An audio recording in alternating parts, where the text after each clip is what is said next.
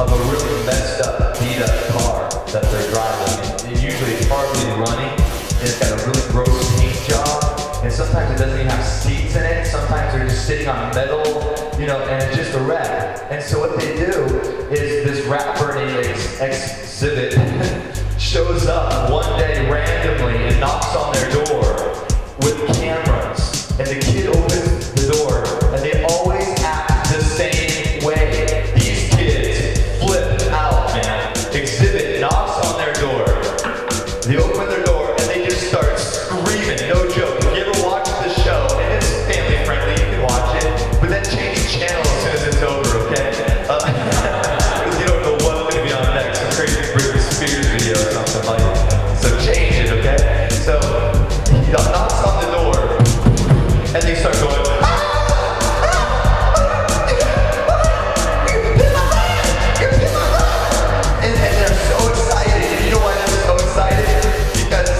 something that is a wreck.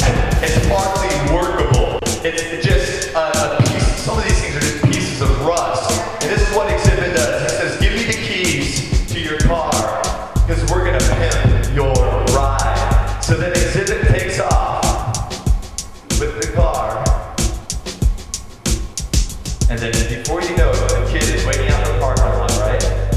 And down the road